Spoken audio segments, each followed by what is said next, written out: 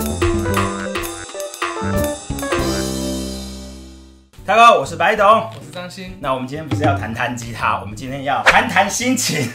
那因为我们上次这个乐器哪里买？第四站我们到这个诺亚乐器，然后呢，张鑫就手滑了一把吉他，还不是你害的。自己进去就说：“哦，我要弹那个，我害的。”这一把吉他呢，它算是一把旅行的吉他啦，但它跟我们一般的民谣吉他好像还是有一点点不一样。对，当然我们今天分享这个牌子，它其实本来外形就比较特别了啦，对，蛮特殊的。对，加上它的这个功能又跟一般的民谣吉他稍微有点不一样，为大家带来张新的新吉他，就是在这边，噔噔，阿妞妞的鸟吉他，大家有没有看到这个 logo？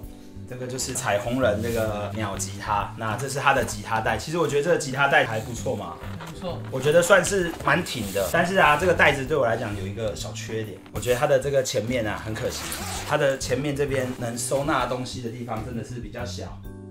哦，没事啊，我不会在前面放东西。我只是觉得它比较可惜，觉得可以再装多一点东西会更好。像那个外面再加的那种。对对，那其实这个袋子也算是蛮厚的哦，然后给大家看一下，这个厚度还算是蛮厚的，而且啊，大家可以看一下，它里面还有一个头枕，我觉得还不错，给大家看一下，这就是今天张鑫的新老婆，这把就是安妮的 N N 十四跨界尼龙，那。这个鸟吉他其实之前在我们频道啊，蛮多朋友一直有在询问我们说能不能有机会去开阿妮女的那个鸟吉他嘛，只是刚好之前都没有人买，刚好这次我买了，还不是你害的，一个是我害的。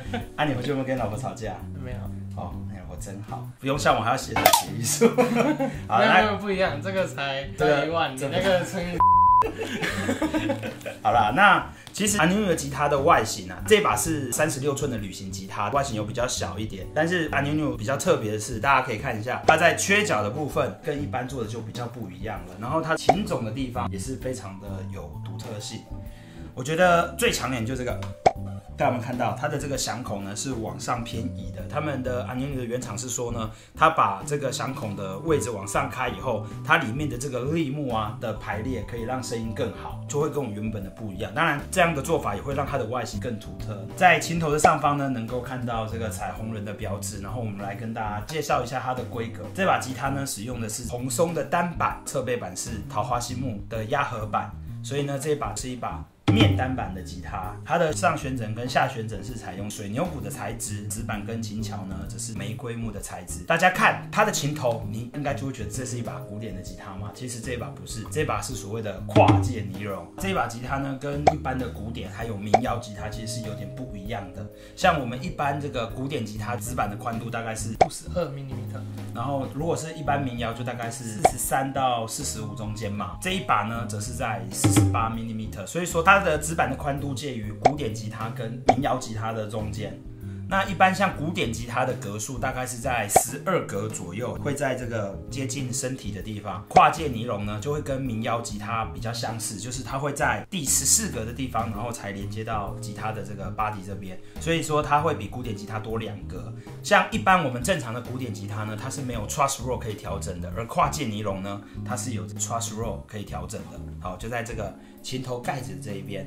再就是这个指板的弯曲度，如果是古典吉他呢，它会比较。平，那如果是民谣呢，它会有一点点凸起来的这个曲度，所以跨界尼龙呢，它就介于民谣吉他跟古典吉他的中间。那么我们接下来呢，就来听听看张欣新老婆的声音吧。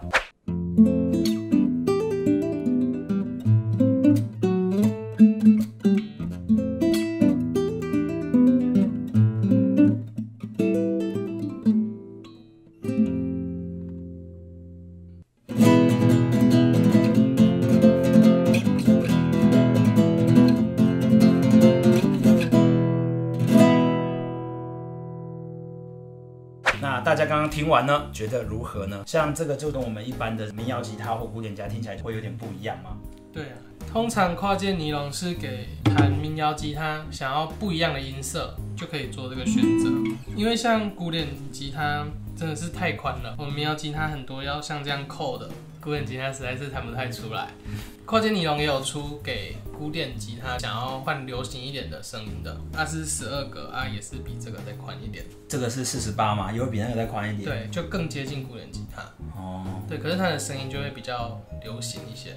这就是我们今天的开箱啊，就是跨界尼龙。如果你想要古典的音色，又觉得古典指板的宽度太宽的话，这种吉他也是一个选择嘛。他说是我害他，其实不是哦，其实真的是他一进到店里，他就跟诺亚玉谢老板就说他要拿下来弹了哦。那不还是你害的？